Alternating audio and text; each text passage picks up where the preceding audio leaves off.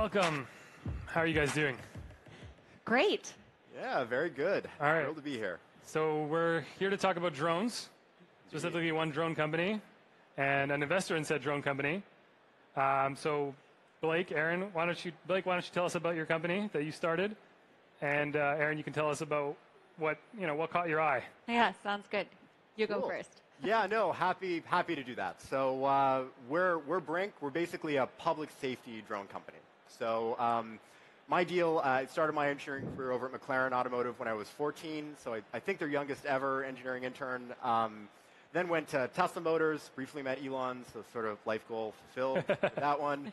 Uh, and then worked over at DJI, so world's largest drone company by, by far. Um, done some cool personal projects too. I built uh, an inertial electrostatic confinement nuclear fusion reactor in my garage. Wow, Completely terrified my neighbors, but I, I had a good time. but it didn't blow up. Has like a Did not, 16 did year not blow up. Didn't blow yeah, down. we'll see how badly irradiated I am at like 40, but um, still alive for now. And uh, yeah, I've, I've loved drones my whole life. Uh, always been building something, but uh, then the, the October 1 shooting happened in my hometown. So uh, I, I grew up in Las Vegas.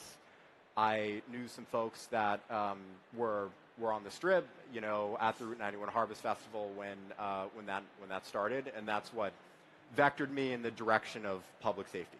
Just kind of this thought that maybe there's a place for modern technology in the hands of first responders when dealing with active shooter events.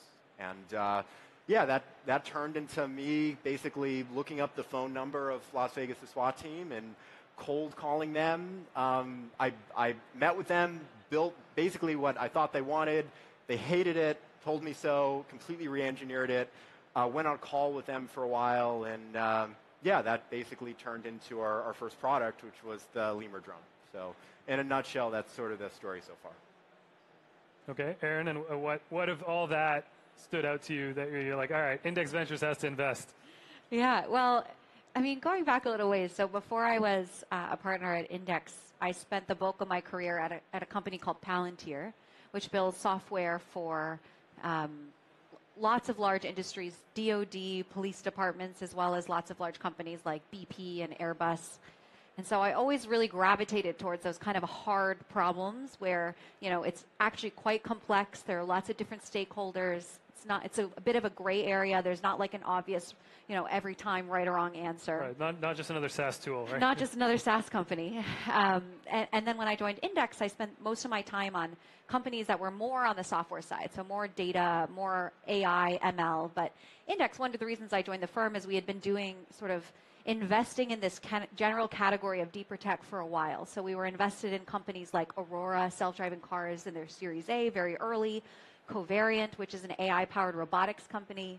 Um, and I really liked that kind of like hardware meets software, like solving really challenging problems that other investors might not be kind of so drawn course. to. But originally, how we met Blake actually, so we're inve- we were early investors in Scale AI, and one of our best sourcing mechanisms is asking our top founders, like, who are you meeting? Like, what are you angel investing in? Or like, you know, who did you meet at a party recently that you think is just killing it? And Alex Wang, the CEO of Scale, was like, Well, Sam Altman and I recently led the seed round in this company. He's like this crazy, mad scientist, but he's like really, really smart and he's building this product. And we were like getting more and more excited. And then he was like, Oh, but it, it's drones for the police. And we were like, Oh, interesting. Like, that's not a market that Index has ever thought about, that we've really ever invested in. And we were like, Oh, this is okay, we'll give it a, sh- we'll give it a shot. And uh, we, a few of us met Blake uh, for the first time, and all of us were like, "Wow!" You know, he was he was 20 at the time.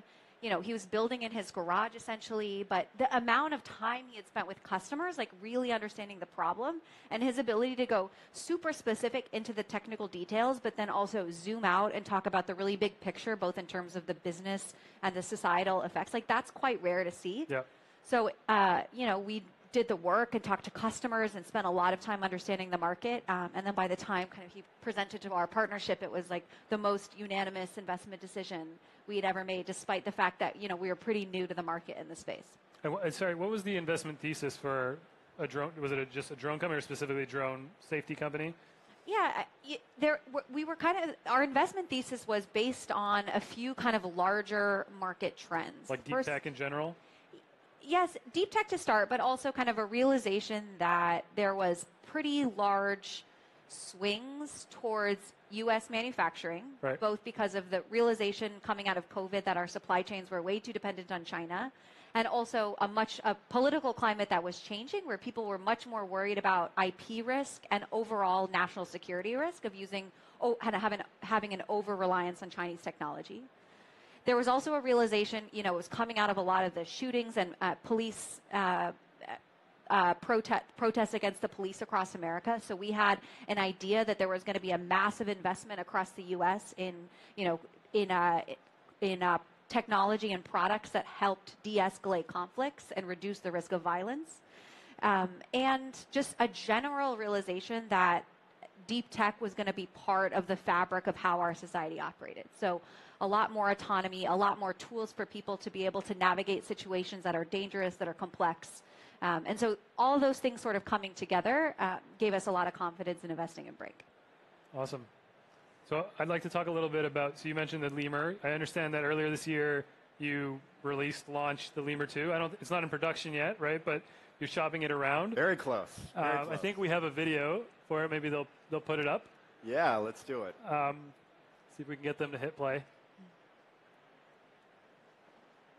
Cool.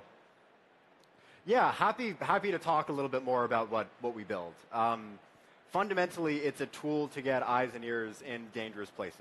So instead of sending a dozen people, you know, holding assault, assault weapons basically into a SWAT call-out scenario to physically arrest someone, which is, you know, incredibly dangerous for everyone because Yep. it risks a gunfight, uh, send in a small drone.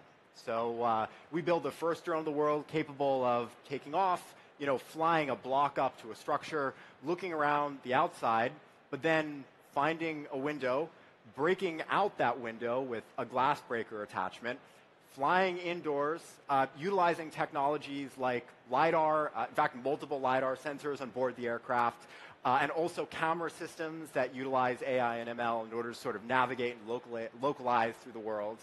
Uh, to you know fly around, clear rooms, push open interior doors. If they ever land on its back, if it ever lands on its back, it can flip itself over, take back off, continue a mission. Uh, and then when it does find someone, it's the first drone in the world that has a two-way audio system. So you can put on a hostage negotiator, put on a crisis negotiator, utilize the drone like a flying cell phone, uh, and de-escalate that scenario. Kind of all with the goal of creating distance between first responders and suspects, uh, and and de-escalating these types of situations um, to avoid the, the use of force. Oh, so, is that is that autonom- fully autonomous? It's semi-autonomous. Is someone controlling the drone for some of the actions? Yeah, that's true. So it, it is a semi-autonomous system. Um, so it's utilizing a couple of LiDARs and a couple of cameras in order to basically map the world. From there, it's able to figure out where it is and hold its position without pilot input. So it basically knows its relative velocity versus walls and then can apply corrective input to stay in that position. So you can just take your hands off the sticks, the drone will just hold its position for any amount of time. That's actually pretty hard to do without GPS. And that is how the majority of drones on the market sort of solve this problem. But the second you fly under a roof, you lose GPS, not an option in- in, our use case. Um, that map is also used for obstacle avoidance functions. So it will basically prevent you from crashing into a wall, you know, crashing into drapes or something similar. Um, and then we take the output of all of these systems and we actually send that to users as a 3D map, which they can then take 2D slices of to generate 2D floor plans. So as our drone is flying around, it's actually drawing a floor plan of the structure uh, that it's clearing, which is Which- like wildly helpful for first responders. Yeah, I, I learned a fun fact recently when they had their big launch party, which is that the majority of police departments, when they need to enter a building, they don't really have a source of floor plans. What they use is Zillow. no. So yeah, the Oh, majority geez. of police departments. So to be able to have this kind of data asset that uh, that lives much longer even after kind of a particular mission is what is, is And you pretty know special. It's, fairly recent, right? Yeah, no, it's true. I mean, all of this stuff just became possible. Like the sensors that we're utilizing in this aircraft came onto the market you know, a couple of months ago. Um, and compute has obviously also kind of uh, evolved in, in, lockstep with that, yeah. where we're able to embed enough processing power on board these aircraft now that we can deal with that you know, torrent of information that all these sensors are collecting uh, and then utilize it to make actionable decisions on uh, you know, navigation around a structure, for example. Um, so we found great use cases in, in police, but what we've also kind of found along the way is there are also incredible use cases in hazmat response, you know, using one of these things to carry a chemical detector or a Geiger counter, uh, and also in collapsed building response. So um, we've had some amazing successes in the past uh, responding to the Surfside building collapse in Florida. Uh, Ukraine is actually our largest operator right now with 60 systems. Um, it's not their Ministry of Defense. It's actually their FEMA equivalent. So they're like state emergency services. Uh, they're using our drones to look for survivors in buildings that might have been hit by a cruise missile or artillery.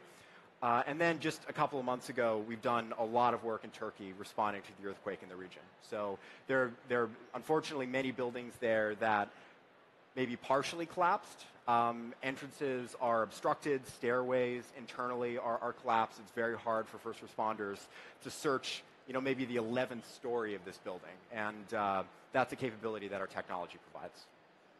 Could you, could you talk a little bit more about your philosophy for going back to autonomy?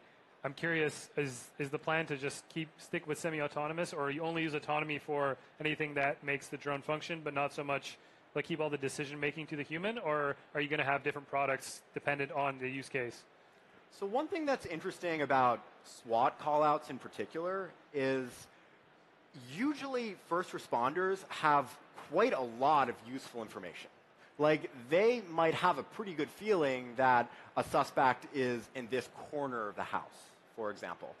Um, and it's, it's really useful for them to be able to take off the drone and just fly to that corner of the structure. Or there are other scenarios where they're worried about a particular door opening up and then someone, you know, coming out due to some other actions that they might be taking.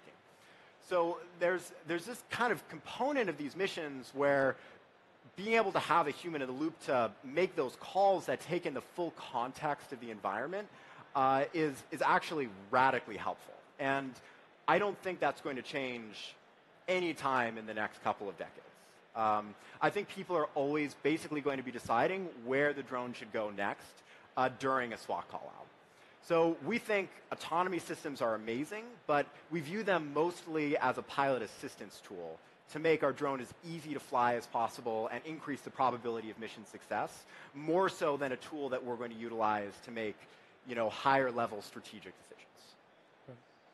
Erin, you meant, oh, sorry, go ahead. No, no, go ahead. You mentioned China earlier and the, you know, Chinese-U.S. tensions around drones and, uh, you know, where drones are being manufactured. Is that Blake, are you seeing that as an opportunity or, uh, you know, to capture market share? Is that something that you're, you're looking into? Yeah, no. I mean, it's, it's, a, it's a fascinating moment in time because the largest drone companies in the world are really all based out of one city, which is Shenzhen. Yeah. Um, like just DJI and Autel combined control 95% of the market. They, they really own the entire thing. So the US government, at the same time, has banned itself from purchasing Chinese drones. And they are the biggest drone buyer in the world. So there's this, this fascinating moment where the biggest drone companies in the world cannot sell into the biggest drone buyers in the world. And uh, there's an immense need for a drone maker for the free world. And that, um, that's kind of what we eventually want to be. And I think that offers a lot of really interesting opportunities for, you know, when we when we talk about autonomy, it's not just about oh the robot flies itself, but when we think about autonomy and how BRINC is thinking about building their company, and also when you look at you know our other portfolio companies in this space, um, it extends sort of end the end-to-end life cycle of the product. So you know how do you manufacture a competitive drone product in the U.S. when you're competing with a Chinese drone company that's you know manufacturing uh, you know, millions and millions in a year. It's really hard to do that if you don't have like highly autonomous manufacturing processes. And what we're, we're excited to see is an emergence of kind of an autonomous factory notion in the United States for the first time in a really long time, uh, which is going to hopefully open up a lot more high tech manufacturing in the United States at comparable cost. Uh, with what you might get, uh, what you might get in China, and then on the very other end of the spectrum, um, you know, autonomy isn't just an, an, an AI system. This isn't just how you fly the drone. I think the point you made earlier when we were chatting about translation is really interesting. Like you can have yeah. pieces of autonomy built all all throughout how your product is used, like the to, the ability to be able to do live translation with a, a suspect negotiation situation. 100%. Given the context that you know all these drones are being used in, I'm curious how like these are very high risk areas, right? How do you think about mitigating risks, and is it purely a technological problem, like let's use just throw technology at it and mitigate risk, or are there other things that you're building within your company or within partnerships that you have to factor in as you continue to grow your your clientele, I guess? Yeah, absolutely. I mean, that's that's a fairly complicated question. Um, I think the the baseline is that the technology is very reliable. You know, every time you take the drone off, the localization systems will work you know, the obstacle avoidance systems will work even if you're in a GPS denied environment, even if the lights are off, even if you're kicking up an enormous amount of dust from the ground or insulation in an attic or anything like that. Um, that that is definitely the you know the baseline that that has to be achieved. What's, your, what's your failure rate for like the drone just falling and just like no longer flying, hitting the ground? It depends a lot on external conditions, right? right. So like in flying around here would be pretty easy, right? Because we, we have some lighting, no you know, it's a large open area, so if we start getting a little bit of slip, it's no big deal, our systems will recognize that. But you start, so uh, one environment that would be really nasty for us would be, I don't know, uh, I mean, jungle. somewhere, like honestly, a lot of our collapsed building work, right? Where the opening that our drone has to fit through in order to clear a room might be this big, you know, our drone is this big. That's already a problem. Yeah. Um, you know, you're dealing with an enormous amount of material, most likely, uh, to, get, to get your signal back from the aircraft. This is another thing. We're transmitting live video, and we also need command and control signals. So it's important that you have two-way data comms between your handheld controller and the aircraft. So, you know, that would present some challenges. The lights would be off in a collapsed building, especially if you're operating at night or just in, you know, in a building that that had collapsed badly. Um, and of course, you know, your GPS denied because there's a bunch of concrete above you. So, and just to add even more fun to this, uh, you're kicking up enough dust and enough debris that you might be getting incorrect LiDAR readings, phantom readings from dust particles, uh, you know, that, that aren't actually reflective of your, your environment. Um, so, you know, in that condition, honestly, we, we build the most reliable drone in the world, but uh, that doesn't mean it's going to be perfect every time. So yeah, that's kind of kind of how we think about it. Yeah, I think it's really about how do you build that trust with the user, um, and in this case, the user is kind of multiple different. There's multiple different stakeholders, and it's a hardware problem. It's a software problem. It's how do you communicate with people. It's how do you make sure that they understand what it is they're getting. Um, and it's, it, it, I think that that trust, that um, that issue of building and keeping the trust of your customers is something that every single person at BRINC takes really seriously, uh, and um, it's great to see. Yeah, and we know, you know, we know these technologies save lives when, um, you know, when they're used in the right conditions. So, um, yeah, we work we work really hard to make sure that they can be used as, as, as much as possible. Well, thank you. I mean, that's a lot, a lot to juggle to, for, you know, to create drones that actually make a difference. Please join me in thanking Erin and Blake.